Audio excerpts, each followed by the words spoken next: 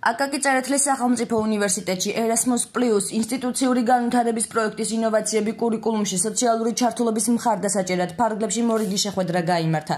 პროექტი მიზნად ისახავს ხელი შეუწყოს შეზღუდული შესაძლებლობის მქონე პირთა სოციალურ ჩართულობას სკოლების ინკლუზიური განათლების ხარისხის გაუმჯობესების გზით. შეხვედრაზე სამომავლოდ განსახორციელებელ აქტივობებზე იმსჯელეს მსგავსი შეხვედრები თბილისსა და თელავში. ეს პროექტი დაიწყო თბილისის სახელმწიფო უნივერსიტეტმა, პროექტი ხორცელდება 2019 წლიდან.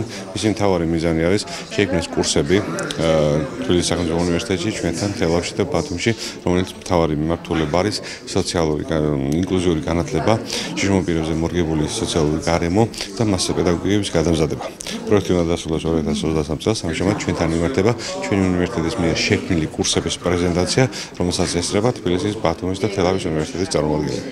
პროექტის ძირითადი ამოცანა არის შევიმუშაოთ ის საგანმანათლებლო პროგრამები, რომელიც ხელს უწყობს ერთის მხრივ მომავალ მასწავლებლებს გაიუმჯობესონ პროფესიული კომპეტენცია სპეციალური საგანმანათლებლო საჭიროების მქონე მოსწავლეებთან მუშაობისთვის და მეორეს მხრივ უკვე მოქმედ მასწავლებლებს რომ ამ მიმართულებით გაიუმჯობესონ პროფესიული კომპეტენცია და აქ ვაპირებთ უკვე 60 კრედიტიანი სასერტიფიკატო პროგრამის შემუშავებას რაც მათ დაეხმარებათ ამ მიმართულებით ცოდნა უნარების გაუმჯობესებაში